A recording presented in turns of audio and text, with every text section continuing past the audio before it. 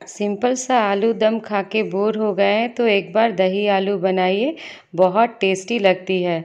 तो चलिए स्टार्ट करते हैं। आलू को बॉईल करके 80 परसेंट पकाई हूँ और छिलका उतार के मैंने ले लिया है। तो चलिए अब इसमें मसाला मिक्स करते हैं। हल्दी पाउडर, लाल मिर्च पाउडर और इसको अच्छे से चम्मच से मिक्स कर लूँगी।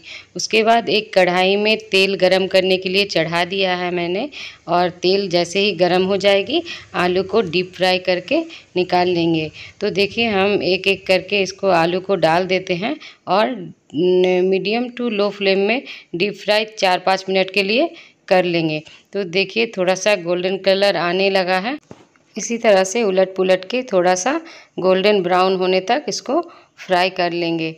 तीन चार मिनट हो गई है और मेरे आलू भी फ्राई हो गई है तो चलिए इसे प्लेट में निकाल लेते हैं। उसी कढ़ाई का तेल में मैं ऐड करूँगी एक चम्मच जीरा, दो तेज़पत्ता और थोड़े खड़े मसाले, दो इलायची, एक दालचीनी और दो लौंग।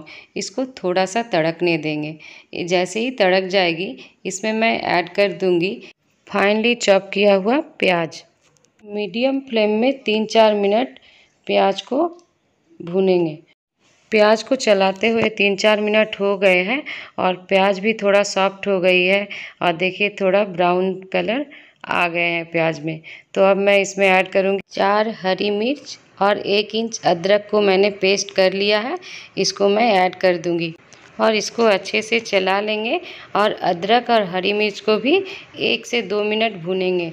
उसके बाद मैं ऐड करूँगी दो टमाटर का प्यूरी।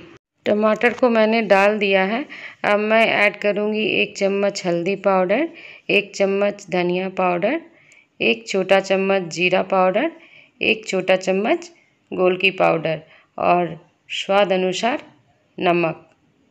अब मैं ऐड करूँगी तीखी वाली लाल मिर्च, आधा चम्मच और काश्मीरी लाल मिर्च थोड़ा सा कलर के लिए। तो चलिए अब इसे चला लेते हैं। तो दो तीन मिनट चलाते हुए अच्छे से भून लेंगे मसालों को और टमाटर को। तो देखिए टमाटर अच्छे से भून गई है। तो इसमें मैं ऐड करूँगी दो कटी हुई हरी मिर्च। मुझे तीखा पसंद है तो थोड़ा हरी मिर्च ऐड कर रही हूँ।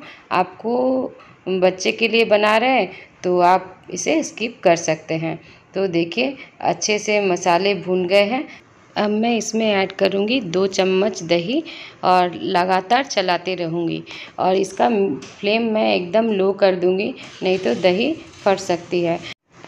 और ये दही को डालने के बाद लगातार चलाते रहना है, जब तक अच्छे से मिक्स ना हो जाए। और दो तीन मिनट इसको लगातार चलाते हुए भूनेंगे। तो देखिए कितने अच्छे कलर आए हैं और कितने टेस्टी भी लग रहे हैं। तो इसी तरह से दो तीन मिनट भून लेंगे। देखिए दो तीन मिनट हो गई है मसालों को भूनते हुए और सब दही भी अच्छे से भून गई है। तो अब मैं इसमें ऐड करूँगी पानी। आप जितना ग्रेवी रखना चाहते हैं, उस हिसाब से पानी आप ऐड कर लीजिए। मुझे थोड़ा सा ग्रेवी चाहिए और राइस के साथ खाना है तो मैं थोड़ा ग्रेवी ज़्यादा रखूँगी। तो देखिए, मैंने पानी ऐड कर दिया है। अब मैं इसमें ऐड करूँगी क्रश करके कस्तूरी मेथी और थोड़ा सा धनिया पत्ता और एक बार चला लेंगे। तो थोड़ा सा मैं इसमें और पानी ऐड करूँगी और अच्छे से चला लूँगी।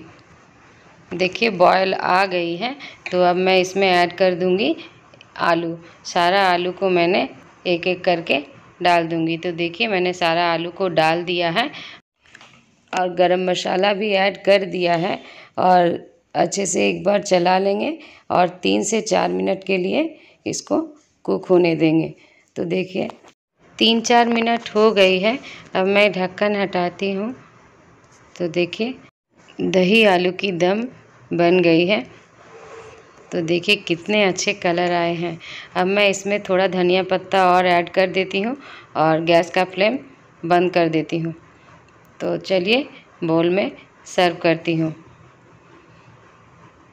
तो कितने टेस्टी लग रहे हैं ना।